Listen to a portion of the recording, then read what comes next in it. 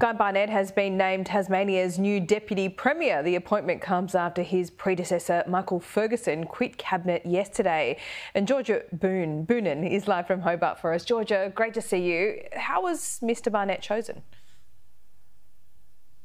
The government whip, Simon Wood, said in a statement this morning that the Liberal Party met this morning. At that meeting in the party room, he, Guy Barnett was elected unopposed and he was sworn in as Deputy Premier shortly after. This follows his predecessor, Michael Ferguson's resignation yesterday over the bungled rollout of New Spirit of Tasmania ferries that were over budget and overdue. They've been very good to me and pledged their continuing support. Premier the same. Nobody's asked me to do this. In fact, in many respects, I have resisted uh, requests to hang in there and fight to live another day. But I believe this is the right decision.